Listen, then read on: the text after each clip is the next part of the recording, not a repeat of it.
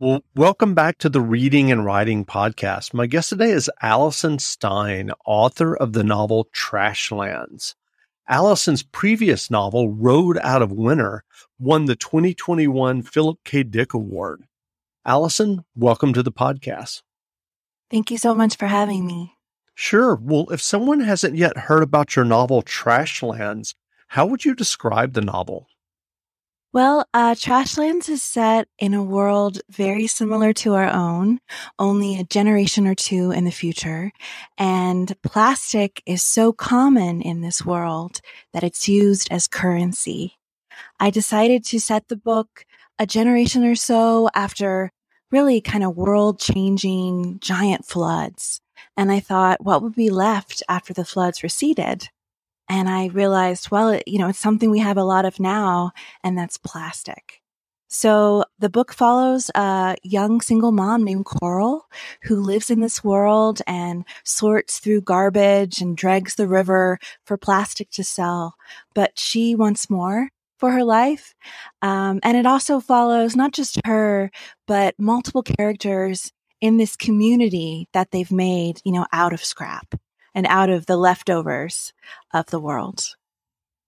Well, do you remember the original idea or impetus that led you to write Trashlands? I actually do. I, you know, I'm the kind of writer that gets a lot of ideas. Mm-hmm. Uh, my mom would say I have too many ideas, you know, and sometimes it's hard to know what to focus on. But I feel like if you dream something, it's really important and you should pay attention to it. And I did dream Trashlands. I um, I was actually sleeping in an old school bus at the time. I'm a single mom and I don't get much time to just, you know, be alone and write. And so whenever I do get those rare days, I just try to go somewhere remote and just write as much as I can. So I had rented this old school bus that was being used as kind of a rental property. It was very rustic. There's no indoor plumbing. It's in the middle of nowhere. And I had a really hard time sleeping. And the first night, I just dreamed about this woman named Coral. And she lived in a school bus, which is probably why I dreamed it. But I knew so much about her in the dream. I knew that she wanted more than she had in her life. I knew she was a single mom, not totally by choice. I knew her son wasn't with her for some reason. And I knew that she was surrounded by junk, by plastic. And so I woke up and I thought, you know, what on earth was that? Why would this person live in plastic? And the story came from there. And is that the first story that you've written from a dream? Actually, it's not. That's a good question. Uh, my first novel, Road Out of Winter, I dreamed that too. Um, with Trashlands, I dreamed a character, but with Road Out of Winter, it was really an image. I had this weird image of a greenhouse and it was nighttime and the greenhouse was lit from within and warm and yellow, but it was surrounded by snow. And I knew there were two people and a child inside the greenhouse, but I also knew that the child wasn't their own or they weren't related in some way. Um, but this image kept haunting me. Um, and, you know, I just kept it in my mind for a while, I think for years. And then I was living in Ohio at the time. And if you're familiar with that part of the country, the weather can be very changeable. But um, we had a really late spring. You know, it snowed in May which was very unusual. And I thought, what if spring never comes back? And then I remembered the greenhouse from my dream and I kind of stitched the book together from that. So, what was your writing journey that led you to writing your debut novel? Well, you know, I think like a lot of writers and artists, I've had kind of a, a meandering journey. You know, I've wandered mm-hmm. a bit. Um, I always knew I wanted to be a writer from when I was a small child. I wrote plays for a while because I, I did community theater in my small Ohio town and I would write plays for them that they could put on and they didn't have to pay any royalties. So I was a, you know, a cheap hire. Um, and then when I got to college, you know, I had always written fiction. I'd always been trying to write novels. I always had a notebook, you know, but when I got to college, there weren't any fiction writers on staff and there were only poets and they really encouraged the poetry thing. So I did the poetry thing for a while and I published a few poetry books, but you know, always in the back of my mind, you know, i am trying to write these novels. Um, Road Out of Winter is my first published novel, but it's mm-hmm. definitely not my first written one. I think it's like the seventh one that I wrote. and the first six are really bad, you know. but it, it took me a while to realize, you know what? I'm not going to find a fiction teacher. I'm going to have to be my own teacher, and books are going to have to be my teacher. I mean, I've always read novels obsessively. I love reading novels more than anything else. And I just realized that that's what I'm going to have to go on and I'm going to have to trust myself. And eventually I found the right story. And that was my first novel. And, and can you talk to us about that process? I mean, um, have you, have you sat and thought about or analyzed what were the issues for you in those first six uh, drafts or, or, first six novels that you had written, and, and how did you kind of teach yourself? Well, you know, I think as sometimes happens, um, I had my breakthrough novel because I had given up, you know, because I was like, what do I have to lose? I might as well go for it. And I do think in previous novels that will never get published and are in a drawer, I do think I held myself back. I think I was worried about what people would think. And I think I was worried about being too much, you know, um, writing with too many images or too passionately or having, you know, too much thinking in the book or too much violence, you know. Um, and I held myself back from what I really wanted to say. And then with Road Out of Winter, I was just so demoralized and frustrated. I felt like I was never going to get a novel out that I just decided to go for it, you know and I wrote the most passionate, intense story and I didn't h- held myself back and I didn't worry about what people would think until later. And then I realized, oh no, people are going to read it. but I think it made a difference. You know, I think, I think you really have to go for it every time. So with your, with your new novel, Trashlands, do you feel like you had to kind of go back to that space of, of not worrying about what people would think? Definitely. And that that is a really hard space. Um I wrote Trashlands. I think Road Out of Winter had been accepted, but it hadn't come out yet. So I was in a position of not knowing what that's like, you know, not knowing if people read it or not, not knowing if there's going to be reviews or not, you know, um, but it's still really hard to write as if nobody's going to read it, you know, to sing as if nobody's listening and you can just, you know, give it your all. Um, but the thing about Trashlands, which I think is the thing about really worthwhile stories, is that you do lose themselves yourself in them. It, it, may take a while to forget that noise, but eventually, if you get into the story and you get into the characters, you know, Trashlands swept me along, and I really fell in love with these characters, and I think of them as friends.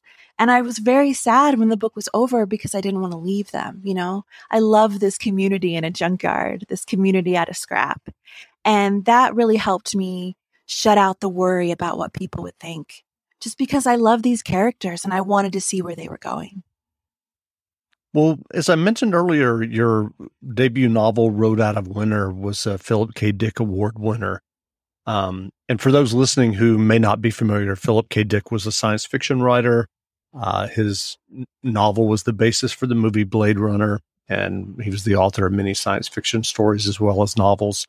I'm curious for for yourself, what's the appeal of science fiction for you as a writer? Well, I didn't really set out to write science fiction. I mm-hmm. just mm-hmm set out to tell this story. And hey, it turns out the story is kind of wild and it's not set in our time, although I think it's certainly set in our world, just kind of tweaked and set in the future. Um, you know, but I think writers that haven't exactly fit into the mainstream, um, whether it's because of who they are, if they're uh, a queer writer, disabled like me, a writer of color, you know, sometimes science fiction has been a better home for us because it's a little more funky, you know, it's a little more strange. You're allowed to be more out there. And, you know, it's hard to break into the establishment, like serious literary fiction, if you're not the establishment, right? So I think sci fi is a good home, you know, for misfits and I've certainly always been drawn to those stories as a reader. Um, Angela Carter was a huge influence on me when I was younger. Uh, Octavia Butler and Ursula K. Le Guin were also really big influences, you know, and, and we want to write like our heroes. So I think I, I tried to follow their path a little bit, even though everybody's path is is going to be their own. How did you discover you won the award? Well, um, you know, we're in pandemic times, so it wasn't it wasn't a ceremony I could go to. Um, it was a it was a Zoom ceremony, and um, I was actually uh, at my parents' house at the time in a very tiny upstairs room, you know, the guest bedroom, trying to get the internet to work in the country. Um, so it was it was through a video, which is you know which is exciting. I guess it's what we have now. So sure, yeah. Well, Trashlands has been described as climate fiction. What are your thoughts about that label? You know, I think it's an important label and I'm really honored to be in it. It was honestly not something I'd ever heard of before Road Out of Winter came out. And then people started calling it that. And I thought, what is this? Uh, but also, you know, this is very cool and this seems uh, important. I mean, I I come from a family of farmers, uh, small family farms on both sides, going back, you know, all the generations. Um, and so, you know, the earth is very important to me. I was taught very early on about plants and crops and taking care of the earth and foraging. Both of my grandfathers were foragers. Um, and so it's always been in my life. And so, of course, the fact that the earth is changing that we have done some things to change it and we need to you know start working on this um, is gonna is gonna be in there. It's gonna be in my fiction because it's in my life. And although i certainly did not set out to you know provide a moral or teach a lesson i just want to tell a good story. And this is the story that came to me in my dreams. But it does matter to me that the book matters too and that someone might read it and maybe they will change their life or maybe they will think about the earth differently or maybe they will you know pay a little bit more attention to what might be going on. Um, i think that's the most that we can aspire to as creative writers. Hi this is jeff the host of the reading and writing podcast. I wanted to tell you about an app that can change how you plan parties and celebrations at your home drizly Drizly is the most convenient way to buy beer, wine, and spirits with delivery to your doorstep in under 60 minutes. Are you hosting a book club party and you need a couple of bottles of wine? Well, keep in mind Drizly. Or do you and your friends make cocktails based on your favorite book characters or novels? If so, again, use Drizly. That's D R I Z L Y dot com. Drizly is the number one app for alcohol delivery. Again, that's Drizly, D R I Z L Y dot com. And right now, if you act, Drizly is giving every new customer $5 off their first order. Just use the promo code FAST5 at checkout. Are you on a search for a special holiday a birthday gift? for a reader in your life? A reader who loves history? Well, I've got a suggestion for you. How about giving them weekly historic letters in the mail from Letterjoy? Every week, they'll receive a letter from a famous historical figure or an eloquent eyewitness to a major event. Past Letterjoy letters have included famous defense attorneys, the United States and China, or working on the railroad. Exploring the American history of the railroads. For example, one letter was an engineer writing home to his wife to describe the tough process of laying tracks for the Transcontinental Railroad. Every Letterjoy letter arrives at your door on fine stationery or parchment with a real stamp and each letter also includes the postscript, an article by expert curators on the latest letter and the historical figures and events connected to it. Visit letterjoy.co to give weekly historic letters to the historian in your life. And I have a special offer for listeners of this podcast. Use promo code BOOKS at checkout to get $5 towards your first order.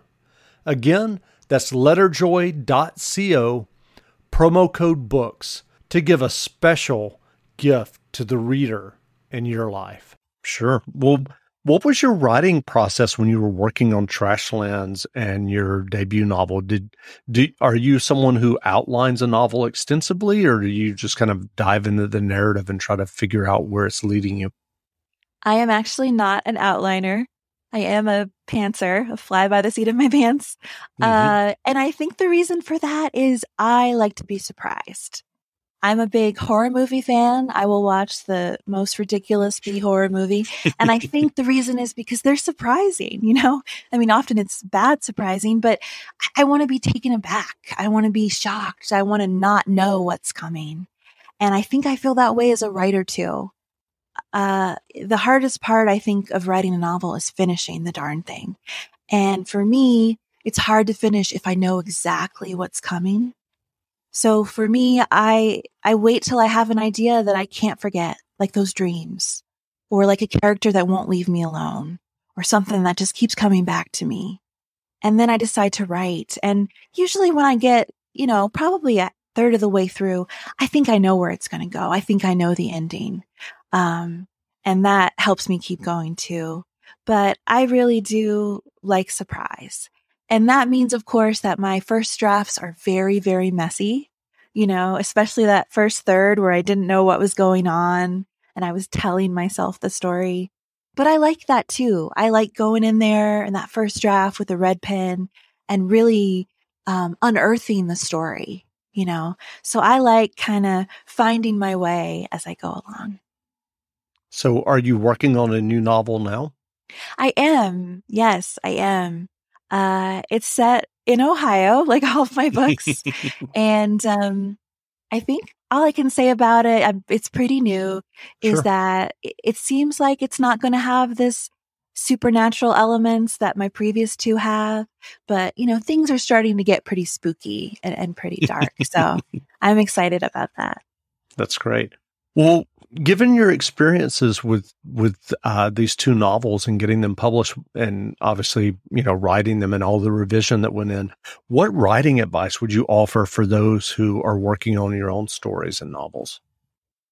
Well, I, I do think that the hardest part of any project is finishing it, getting to that finish line at the beginning. Uh, so, you know, we give up on so many projects. We give up on so many novels. And I think it's just because you know, we want it to be perfect, but being perfect takes time and you're not going to get that in a first draft.